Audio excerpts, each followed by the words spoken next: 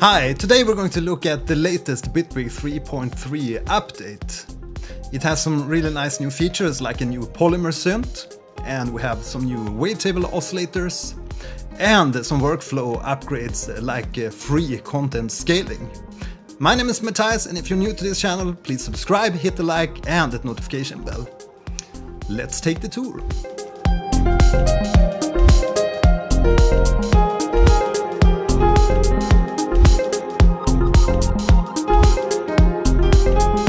Right, so let's begin by talking about the new Polymer synth, which is new to Bitwig 3.3.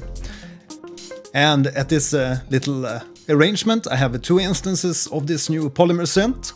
We have this uh, pluck sound.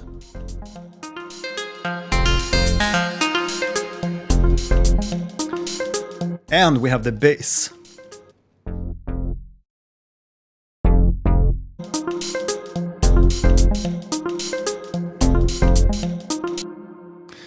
The Polymer synth is kind of a hybrid uh, modular synthesizer. So we have an oscillator section here, and at the moment it's uh, selected to a pulse.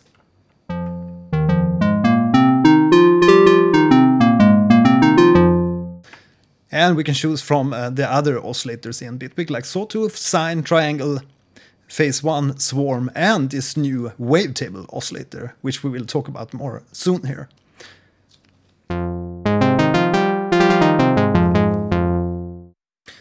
And this polymer synth also contains a filter and it's uh, interchangeable so we can change the low pass SK to a ladder filter.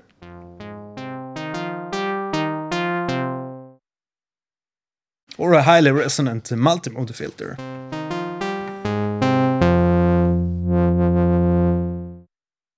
Let's go back to the low pass uh, Sallen-Key filter. And you have an ADSR, which can also be swapped to an AD-AR and a pluck envelope. We also have a sub-oscillator, we have a noise generator, uh, a filter envelope, which can control the filter. It's a high-pass filter, uh, some pitch, and uh, a glide option. And at the core, this is actually a, a grid synthesizer. And I can show that by pressing this expanded view for the device, which will show us the, the actual grid module setup for, for this synth. And you always have the option to right click this polymer synth and convert it into the polygrid. And now you can basically swap out any of these devices or do some custom setup if you want. But let's uh, redo that option and go back Right, so let's take a closer look at this uh, wavetable oscillator. So we go to the oscillator section here and select the wavetable oscillator. And uh, a wavetable is basically a, a, table of different oscillators which you can sweep through. And to sweep through this uh, wavetable we have the index option here, the index parameter.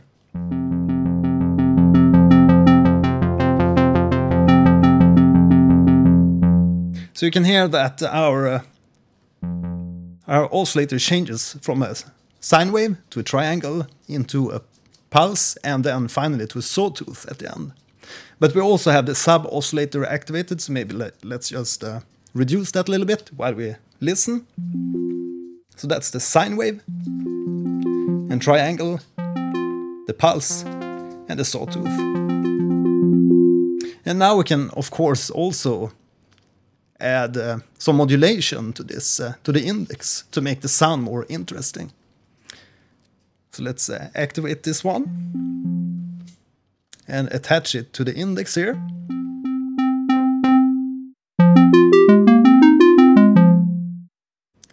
Maybe activate a little bit of effects here.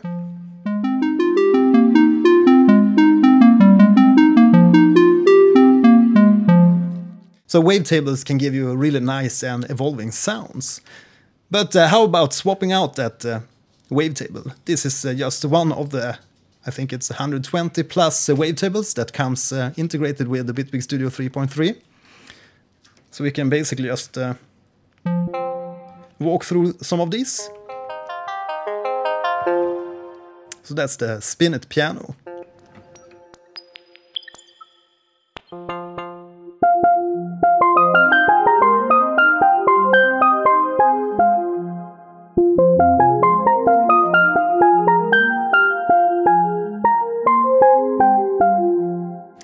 Let's select this Sines by Harmonic.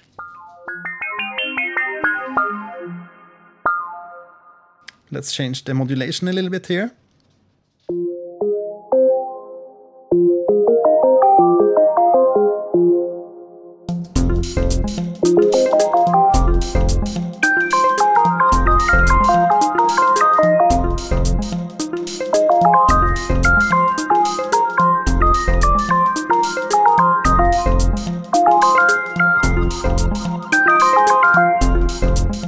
So this new uh, wavetable oscillator gives you tons of options to create uh, really nice uh, serum-like patches in Bitwig. And as I mentioned, this is of course a, a grid uh, synthesizer at the core, so we can just uh, right-click and go to convert to a polygrid. And if we want to do a more elaborate editing to this uh, synth patch, Right, so that's uh, briefly a little bit about the Polymer synth. Now let's talk about some of the workflow enhancements made in uh, Bitwig 3.3. Right, so the next important update in uh, Bitwig Studio 3.3 is uh, free content scaling. And that means that we can freely scale any of the audio or uh, MIDI clips. So just select the MIDI clip here at the end of the clip and hold down Alt key. And then we can drag the clip freely here to any any size. So we can effectively expand or contract the MIDI. So maybe something like this, and then we will copy paste this a few times.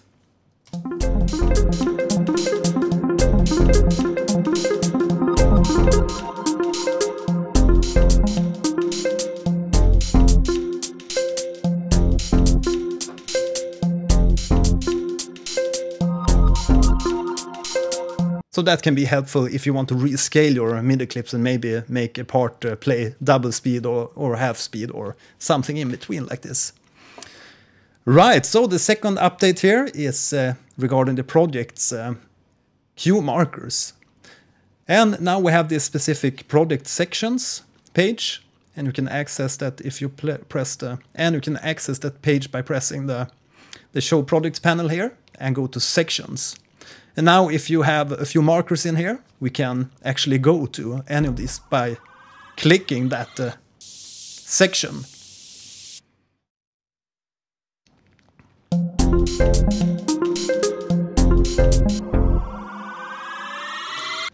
And that can be helpful if you have a really big arrangement maybe scoring a film clip or something, and you want to jump to different parts. Or maybe you have an album, a complete album in one project, and you want to jump to the different uh, songs in your, in your track.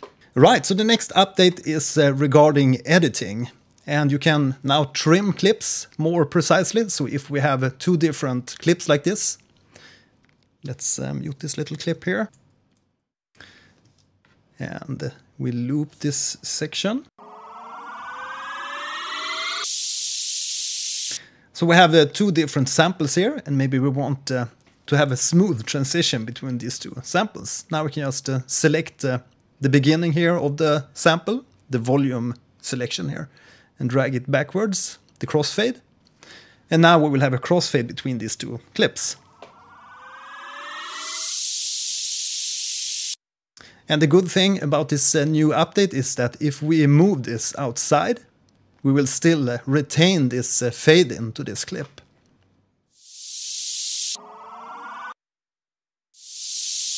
Which wasn't possible before, so that's a new addition to the editing in, in Bitwig. Right, so that's a quick rundown of the new features in Bitwig Studio 3.3. I would really like to have seen uh, maybe track comping for audio tracks, but uh, maybe in the next update. What would you like to see in the next uh, Bitwig Studio update? Please write in the comments if you have any suggestions. Now you can continue and watch my next episode or listen to the little jam at the end here of the video. My name is Mattias and see you in the next one. Bye!